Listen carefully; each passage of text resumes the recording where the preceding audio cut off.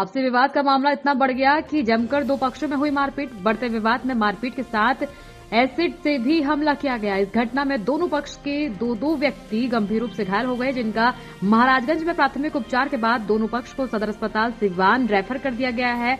दोनों पक्ष की स्थिति की गंभीरता को देखते हुए डॉक्टर ने रेफर किया। मामला महाराजगंज क्षेत्र के सज्जोड़ा का बताया जा रहा है। वहीं सज्जोड़ा निवासी रवि भूषण व मुना सिंह के परिवार के बीच का है मामला। वहीं एक पक्ष पहले भी थाने में आवेदन देकर न्याय की गुहार लगा चुका है, परंतु न्याय न मिला।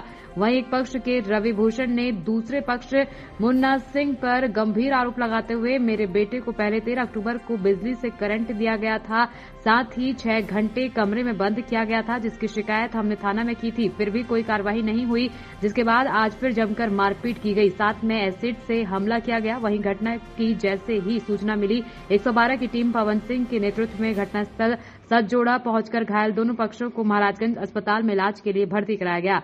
वहीं 112 की टीम के प्रभारी पवन सिंह ने बताया कि दोनों परिवार के बीच आपस में जमीनी विवाद पहले से चल रहा है। थाना में आवेदन भी दिया गया है। थाना मामले की जाँच के लिए टीम गठित की गई है। थाने टीम की जाने के बाद दोनों पक्षों में जमकर मारपीट व तेजाब की घटना घटी। दोनों पक्षों को इलाज के बाद सदर अस्पताल रेफर किया गया। क्या घटना घटी है? कि आज हॉस्पिटल में आप आई हैं इलाज कराने के लिए? हमारे साथ घटना यही घटा कि हमारे घर वाला रसूलपुर चट्टी पर गए थे।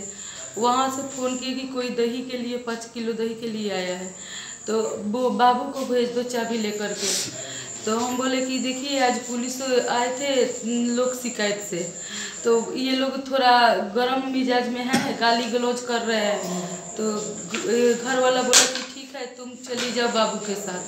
फिर मैं जब घर बाबू को लेकर जा रही थी तो बोली कि चलो तब तक देखे कि लाठी कार के अंजलि और छोटी और आयुषी है उसका नाम। अंकित अंकुल विकास निकी अनिषेक और उसके बाद से की बीबी और कमला कमला देवी आपके पत्नी और बच्चे के साथ घटना घटी है। ये किसका कारण क्या है? इसका कारण यही है सर तेरह दस को हमारे बच्चे को बिजली का शॉर्ट लगाकर मारने का प्रयास किया गया। हमने उसमें आवेदन दिया थाने को। थाने की लापरवाही पैसा पी खा पी कर उसको आराम कर दिए। हमने फिर आवेदन को आगे बढ़ाया। आज किसका आवेदन पर पुलिस गई हुई थी? पुलिस जब गई उसके ठीक पीछे से ये लोग जीव निकली वहाँ से वो लोग वार किए हैं। है वार किए हैं हमारे बच्चे हमारी घरवाली हमारी भतीजी को हमारे ही दूध डेयरी में घुस कर मारे हैं और उस पर एसिड फेंके हुए हैं। यहाँ तक कि हमारे दादाजी स्वतंत्रता सेनानी थे उनका स्मारक भी तोड़ा गया है। एसिड फेंका? एसिड अंकित कुमार सिंह पुत्र मुन्ना कुमार सिंह ठीक है? और विकास कुमार सिंह पुत्र टुनटुन सिंह अनिषेक कुमार सिंह। क्या है पहले से कोई की सर जो घटना घटी है सर मतलब कि कहाँ घटी है और इसको कैसे मतलब हैंडल किए हैं आप? ये घटना घटी है सतजोरा में। हम लोग को डायल 112 पर कॉल आया तो हम लोग वहाँ पहुँचे तो वहाँ पर जाने के बाद मालूम हुआ कि ये दोनों पटीदार के बीच आपस में ज़मीनी विवाद है पहले से चल रहा है।